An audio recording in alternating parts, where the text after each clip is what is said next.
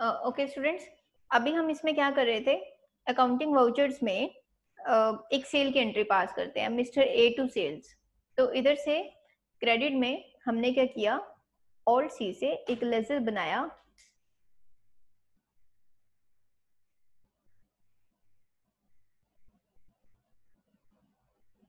All सी से एक laser बनाया सेल्स का अंडर सेल्स अकाउंट और इसको सेव कर देंगे। ठीक है जी। अब 30,000 की सेल हो गई मिस्टर ए टू सेल्स और इधर आपने नरेशन लिखी being goods sold to Jagmohan Jagmohan is a software student but he is interested in learning Tally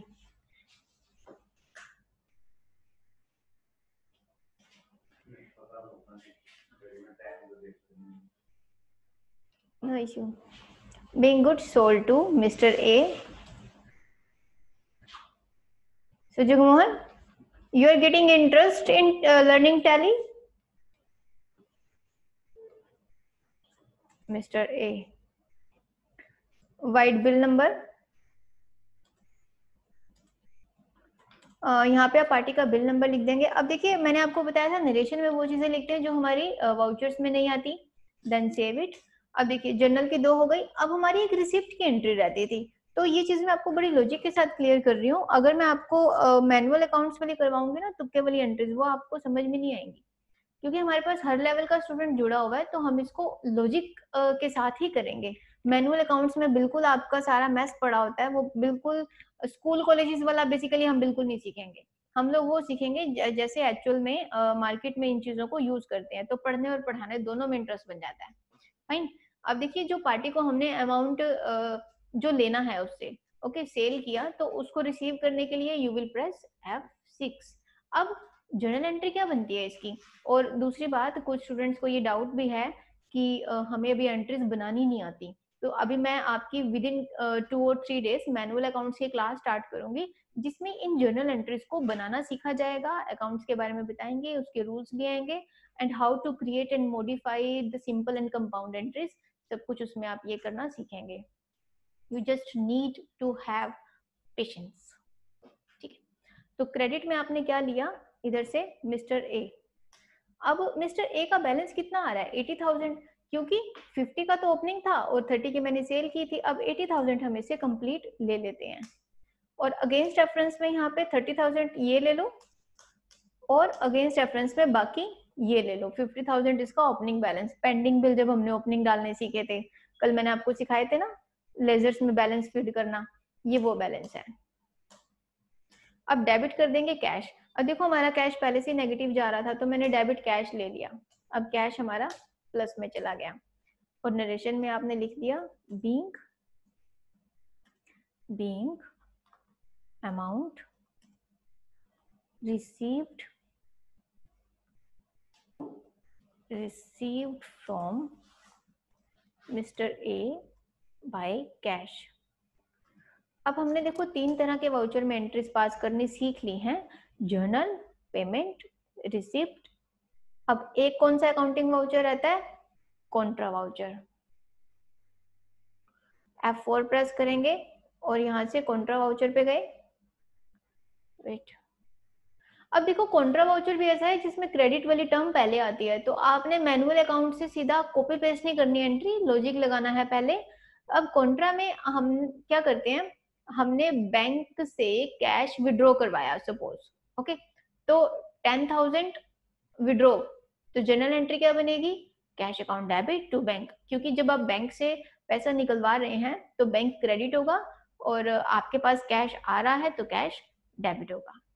तो क्रेडिट में क्या लिया मैंने? बैंक अब बैंक में ट्वेंटी थाउज़ेंड पड़े हैं डेबिट बैलेंस तो हमने टेन थाउज़ेंड विड्रॉ करवाया और यहाँ पे डेबिट में ले लिया कैश जनरल एंट्री बन गई cash to bank ten thousand और इधर आपने नरेशन लिख दी. Withdraw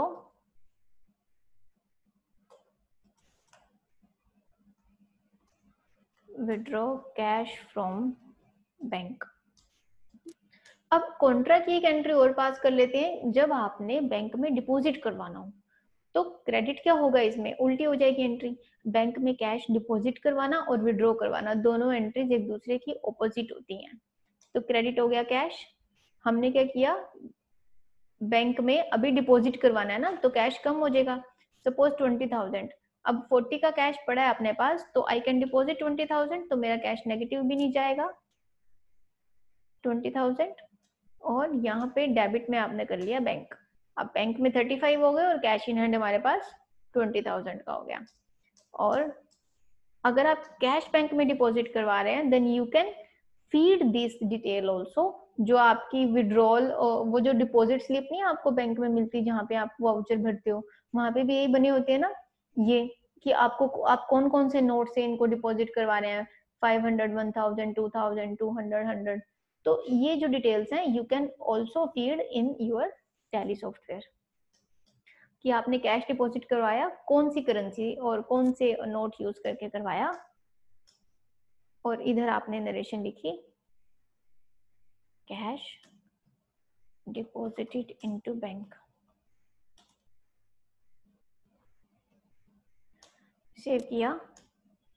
ठीक है, अब देखो हम चारों तरह के वाउचर्स में जो है एंट्री पास करके देख चुके हैं। अब इनकी डिटेल्स आपने चेक कैसे करनी है?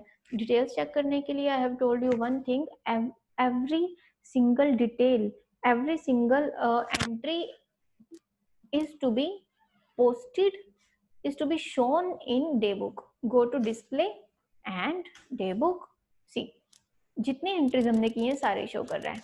कॉन्ट्रा की one and two पेमेंट की वन रिसिप्ट की वन जर्नल की one two three so we have passed one two three four five six seven entries and how to check these entries in detail press alt f1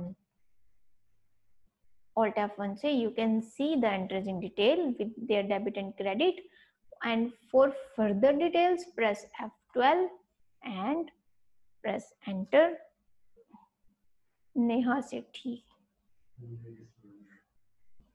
and press enter show narrations. I I have admitted the students in tally. वो admit हो रहे हैं। नहीं मैंने कर दी उनको। They can see अभी tally की क्लास लग रही है। uh, हाँ जी स्टूडेंट इलेवन थर्टी के बाद शुरू हो जाएगी। मेरे को दो मिनट और दो अभी ट्वेंटी एट हुए हैं। अभी शो नरेशन को मैंने यस किया।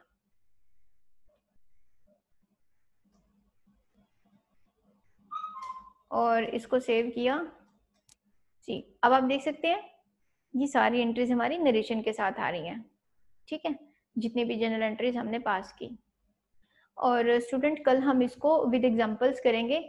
और ना, ये जो आपकी क्लास होती है, मैं इसको भी दो पार्ट्स में ले रही हूँ। फिफ्टीन मिनट्स के बाद आपका एक दो मिनट का ब्रेक लेके फिर मैं दूसरा सेगमेंट स्टार्ट करती हूँ। क्योंकि हमारे ना, इसमें लगातार एक लेक्चर रिकॉर्ड नहीं होता, वो टाइम उसमें लंबा हो जाता है। तो इसीलिए वो दो में आ रहा है, ठीक है? तो आप जब आफ्टर फिफ्टीन मिनट्स जब आपका ये मीटिंग एंड होता है तो आपको री रीज्वाइन करना होता है। अभी देखो, दो तीन स्टूडेंट्स थे, उन्होंने दोबारा रिज्वाइन नहीं करा, उनको लगा क्लास खत्म हो गई है। तो ये एंट्रीज आप इस तरह से देख सकते हैं, और जब आपकी क्लास लेके नोटबुक पेन साथ रखा करो साथ साथ नोट्स बना लिया करो, क्योंकि अभी जब लग रही होती है आपकी लाइव क्लास तो इंटरेस्ट भी बना रहता है।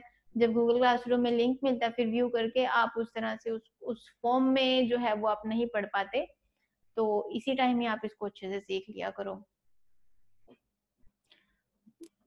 और जैसे स्टूडेंट्स हमारा एक एक टॉपिक खत्म होता जाएगा, उसकी हम वीकेंड पे एक एक टेस्ट रखा करेंगे, या फिर कोई असाइनमेंट मैं आपको दे दिया करूँगी टॉपिक खत्म होने के ऊपर। अभी हमारा अकाउंट स्टार्ट हुआ है टेली स्टार्ट हुआ है। तो अभी नेक्स्ट वीक आपको ये मिलेगा। Okay students thank you